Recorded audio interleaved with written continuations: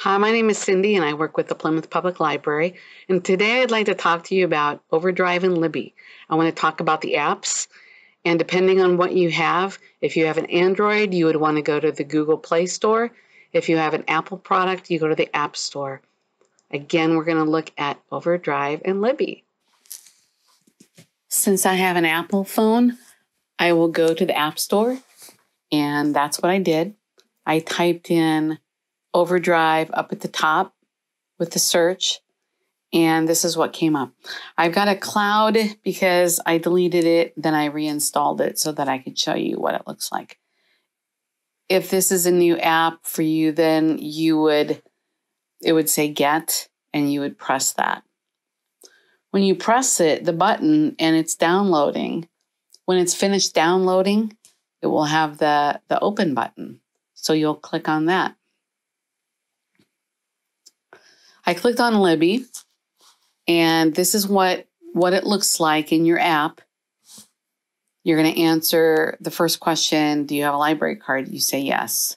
So when you click on it, then this is what comes up. They're going to ask you to search for a library or guess what your library is. I usually I'll search for a library. I typed in the Plymouth Public Library and it does come in up with different options, so you do need to choose the correct one. We are the Indiana Digital Download Center, and we are with more than 84 other libraries that are part of the consortium. Once you choose the, the correct consortium, then you're going to type in your library card. It's going to say Plymouth, and then you're going to click on that and put your library card in there. Then let's go to, to Overdrive. Once you've opened that, you're going to click on sign up. When you do, I would advise signing up using your library card. So you're going to click there. You're going to type in the Plymouth Public Library, press go. And then again, it comes up with Indiana Digital Download Center. You're going to click on that. And this is what the options are.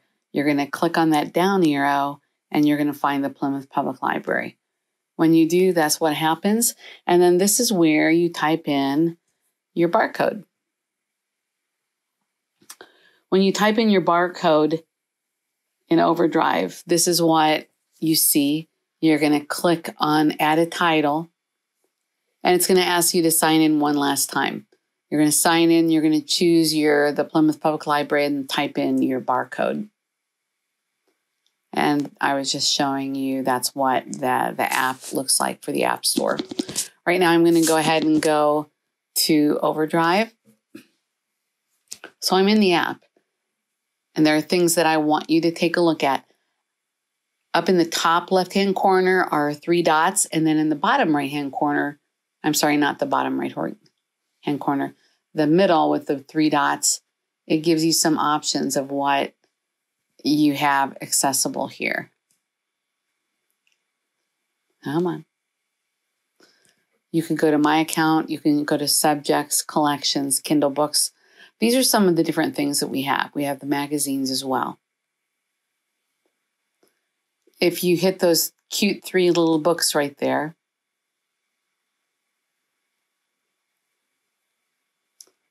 it shows you what you've got in your loans. Notice the word loans is blue. You can click and you can see what I've got there. There's holds.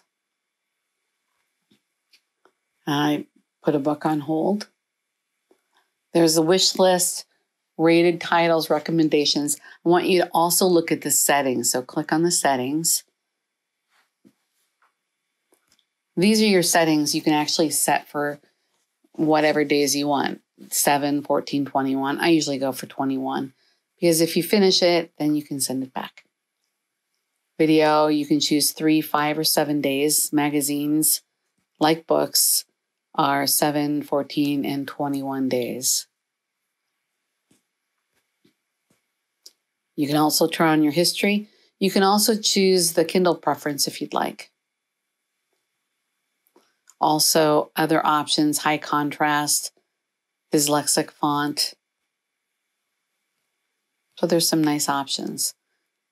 Go to those three buttons at the top or the lines, and let's go to the Indiana Digital download.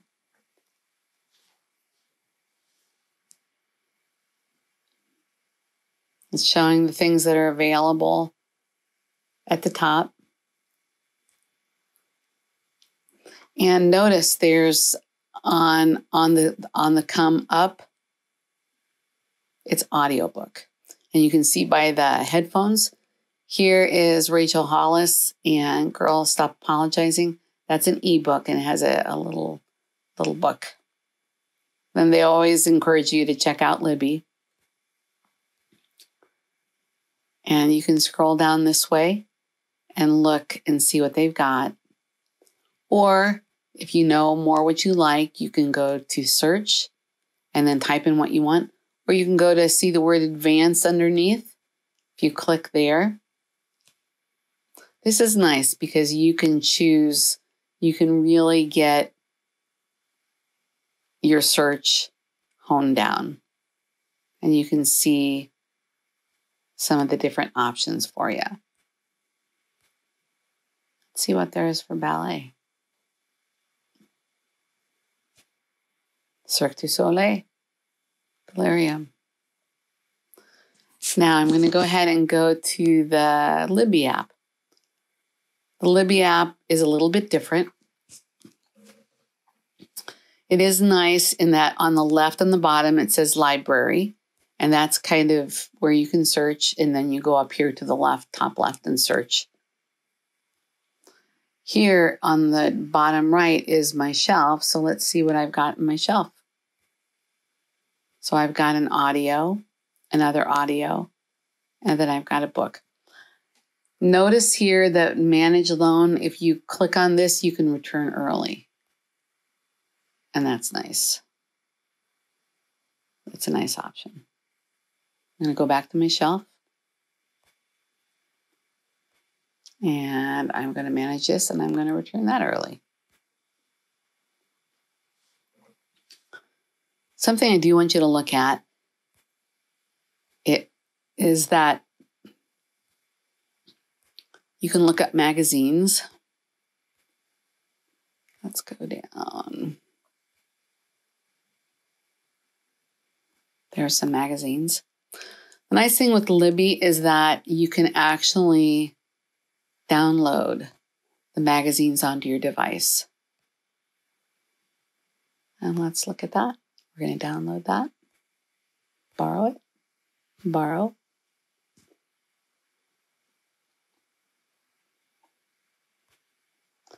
All right, now we're not going to, we're going to open the magazine.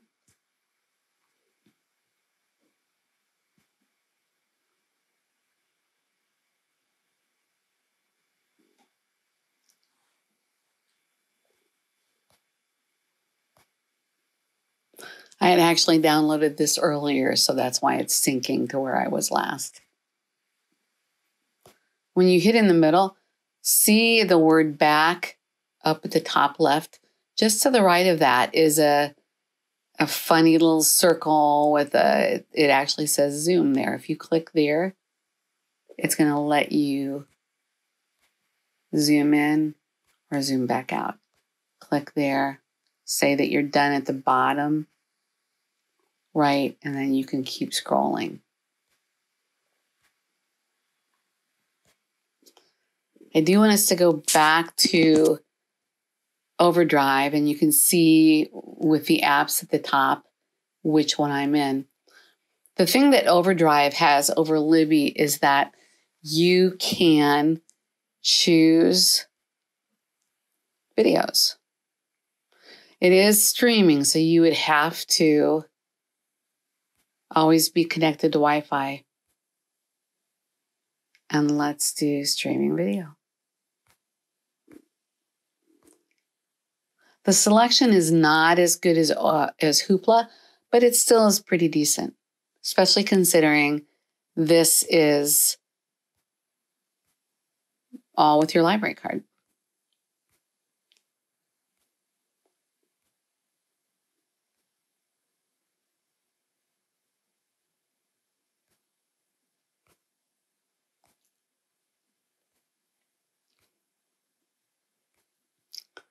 So it gives you some options there.